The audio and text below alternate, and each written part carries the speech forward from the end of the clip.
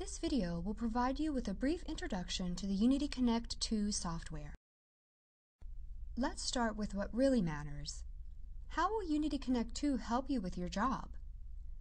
The simple answer is it automatically puts your QC results into the Unity software, which saves you time and effort.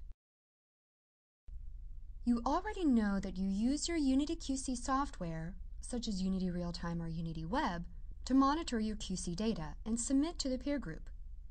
But how does data get into your software in the first place? If you do not have any connectivity software, you must manually type in all of your QC results. Watch as I enter a couple of rows.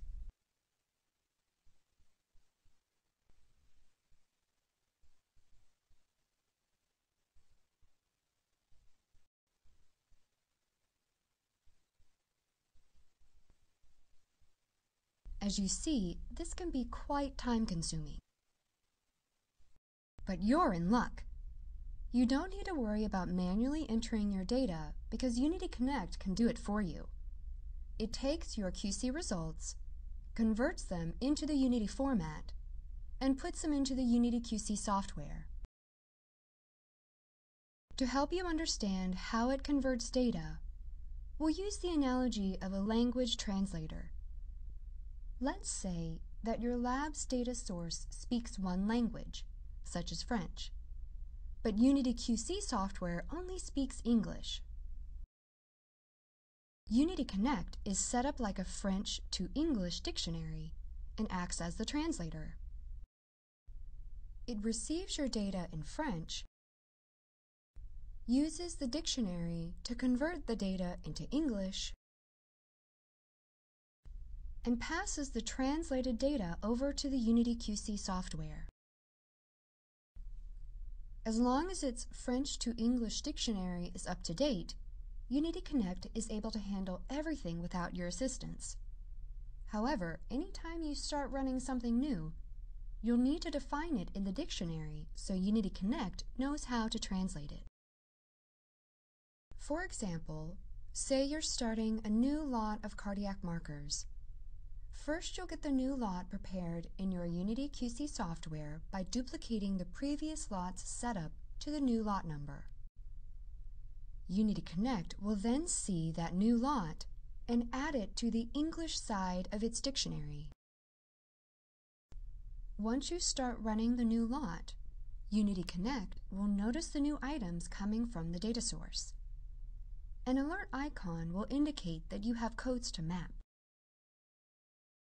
You'll simply make selections from the drop-down lists for each level of the new lot. The left side is the English side of the dictionary, or the side listing the Unity codes.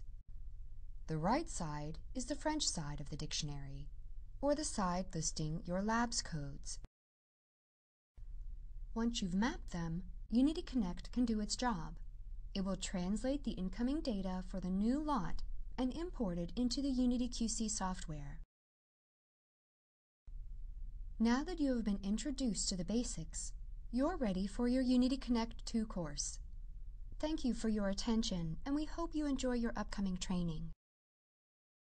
If you have used other versions of Bio-Rad connectivity software in the past, Please continue watching the remainder of this video for a brief explanation of the differences you should expect to see in Unity Connect 2.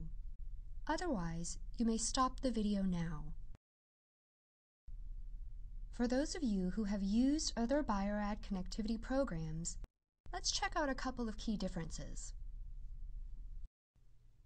To start, please note that it's important for you to use the duplicate feature in your Unity QC software whenever you have a lot switch. That may not have been a part of your process in the past, but Unity Connect 2 will not function correctly if you have not duplicated the old lot's setup to the new lot in the Unity QC software first. Next, be aware that the screen layout in Unity Connect 2 is the reverse of previous connectivity before, the local codes that came from your data source were listed on the left side of the screen. and your task was to select the corresponding Unity codes on the right. That has now switched.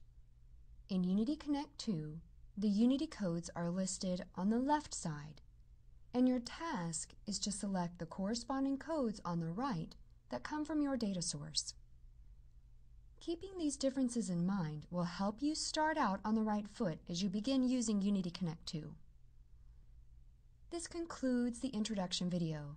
Thank you for watching.